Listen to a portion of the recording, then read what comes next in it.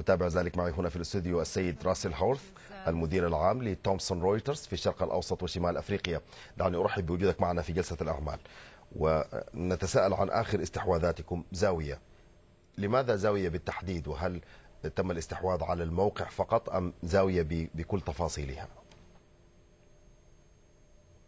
Yeah, so إن زاوية اسم معروف وأيضا لديها معلومات وبوابة معلومات مهمة جدا ولديها الكثير من المنتجات التي تركز على المعلومات الاحترافية المالية في الشرق, في الشرق الأوسط ولديها الكثير من الأمور الفريدة فيما يتعلق بقطاع الأعمال. ونحن مهتمون بمعرفة الكثير حول ديناميكيات, ديناميكيات هذا العمل وأيضا الخارطة الاقتصادية والسياسية في المنطقة ولديها الكثير من المحتويات الفريدة حيث أنها بالنسبة للمعلومات المدرجة وغير المدرجة للشركات الموجودة في الشرق الأوسط وشمال إفريقيا.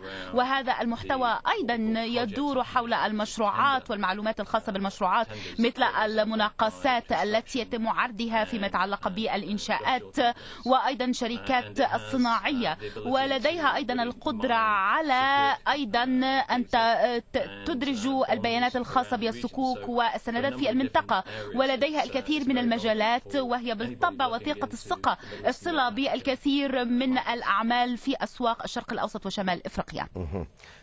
سيد راسل زاوية فيها كثير من الموظفين في المجالات البحثية والفنية إلى ما ذلك. ما هو مصير هؤلاء العاملين بعد عملية الاستحواذ؟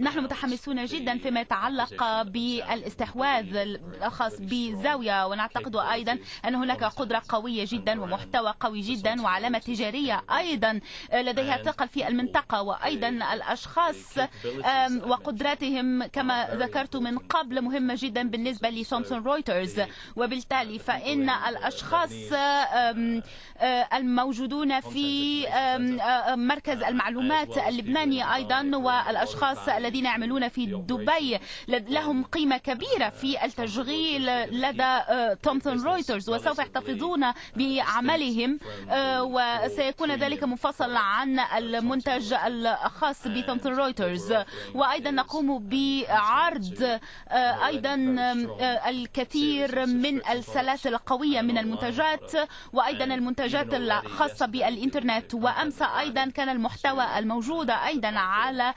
المنصة كان قد تم تعزيزه حيث أن هناك أيضا الأخبار الخاصة برويترز وأيضا المشتركين في زاوية الذين يعتبرون إضافة جيدة للمنتج وبالتالي الأشخاص الموجودين في العمل من قبل يعتقدون أن هناك الكثير من التفاؤل الخاص بالعمل ونحن سعداء ومتفائلون فيما يتعلق بهذا العمل وهذا أيضا يضيف قيمة كبيرة لهذا العمل وأيضا إلى زاوية وبطريقة ما وبدرجة كبيرة وأيضا لعملاء زاوية زاوية لديها علاقة أو ارتباط مع داو جونز كيف سيكون شكل هذه العلاقة الآن بعد عملية الاستحواذ؟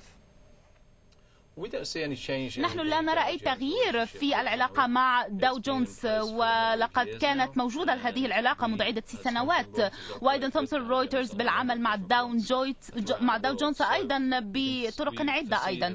ونحن نتوقع أن هذا العقد سوف يستمر مع زاوية. وأيضا سوف نضيف أيضا بعض الأخبار الخاصة بثومسون رويترز وأعتقد أيضا أن العملاء لديهم الكثير من المصادر لرؤية الأسواق في الشرق الأوسط وشمال أفريقيا من وجهة نظر أخرى. وأعتقد ذلك مهم جدا للسوق التي نعمل فيها حاليا.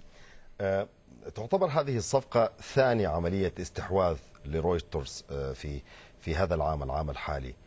هل نتوقع استمرار هذه العمليات؟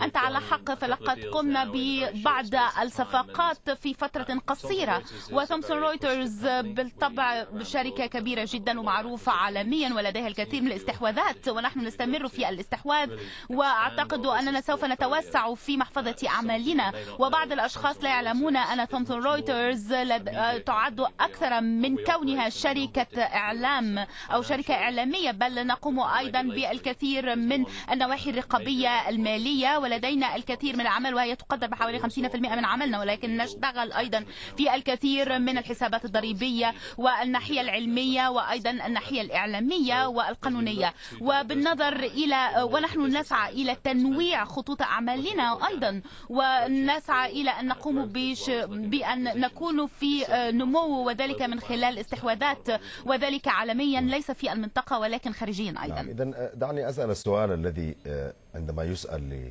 مثل هذه الصفقات لا يكون هناك حماس للإجابة عليه وهو قيمة هذه الصفقة لكننا في كل الأحوال نتقبل كل الإجابات. It's a very commonly asked question. هذا سؤال تسألونه دائما. ف عندما أولا نحن ملتزمون بعدم البوح بقيمة الصفقة. ولكن أيضا بالعودة إلى الواقع أن أن ذلك يعد قيمة جيدة جدا بالنسبة لنا وأيضا هناك قيمة جيدة فيما يتعلق بالمحتوى وهذا يضم الأشخاص الذين لديهم مهارات والعلامة التجارية الجيدة في المنطقة والقيمة بالنسبة لنا. نحن لسنا بالمستثمرين الماليين ولكن أيضا نرى قيمة على المدى الطويل وأعتقد أن هذه قيمة جيدة جدا بالنسبة لنا. إجابة جيدة تشبه رويترز. أنا أشكرك سيد راسل هاورث المدير العام لتومسون رويترز في الشرق الأوسط وشمال أفريقيا أشكر وجودك معنا في جلسة الأعمال لهذه الليلة. شكرا.